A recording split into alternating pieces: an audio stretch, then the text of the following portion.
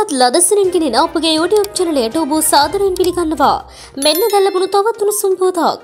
රජය විසින් සියලු භාණ්ඩ හා සේවා සඳහා ඊයේ සිට ක්‍රියාත්මක වන පරිදි පනවූ ලැබූ සමාජ ආරක්ෂණ පදට අනුව සහ පිරිවේ ඉහළ යාම හේතුවෙන් සියලුම මත්පැන් සහ බීර වර්ගවල මිල ඉහළ ගොස් ඇතැයි සුරාපත දෙපාර්තමේන්තුව පවසයි. සංස්ථා මත්පැන් මිලිලීටර 750ක් ඊයේ මධ්‍යම රාත්‍රියේ සිට රුපියල් 150කින් ඉහළ තමා තිබේ. ඒ අනුව මත්පැන් සහ බීර වර්ගවල මිල 2.5කින් මිල වැඩි වී ඇත.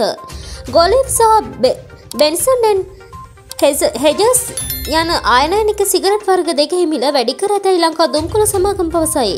ඒ අනුව ගෝලිප් සිගරට්ටුවක නව මිල රුපියල් 85ක් වන අතර බෙන්සන් ඇන් හෙජස් සිගරට්ටුවක නව මිල රුපියල් 90ක් දක්වා වැඩි කිරීමට සිදු වුණු බවත් පසුගිය අයවෙන් හඳුන්වා දුන් සමාජ ආරක්ෂණ බත පෙරේදා දින සිට ක්‍රියාත්මක වීම මෙම සිගරට්ටුව මිල වැඩිවීමට ප්‍රධාන හේතු බවත් වාර්තා වේ. මෙවැනි උණුසුම් පුවත් ලදසනින් දැන ගැනීමට අපගේ YouTube චැනලය සබස්ක්‍රයිබ් කර බෙල් අයිකනේ ක්‍රියාත්මක කරන්න.